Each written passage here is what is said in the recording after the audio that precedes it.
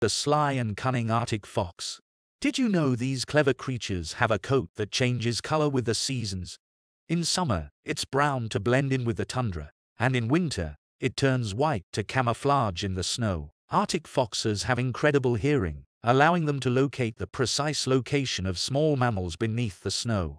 Their acute sense of hearing helps them pounce with remarkable accuracy, even when their prey is hidden beneath layers of icy camouflage.